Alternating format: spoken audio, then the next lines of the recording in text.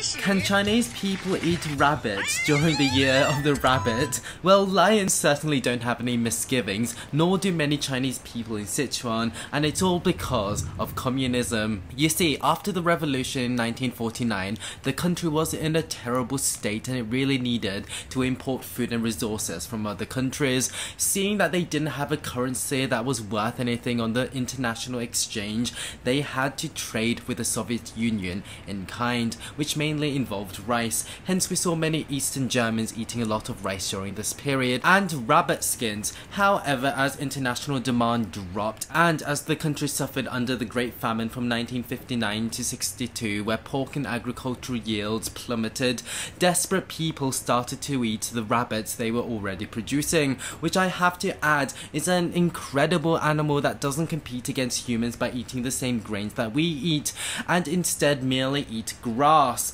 This is hugely important, particularly during a famine. And since then, it's become a local delicacy in Sichuan. You can have it in hot pot, you can have the head and the ears pickled, and especially as successive revolutions have wiped out many of the ancient traditions and taboos. For example, one that believed that the eating of rabbits by pregnant women would result with babies with rabbit-like lips. Hope you found that interesting and thanks for watching.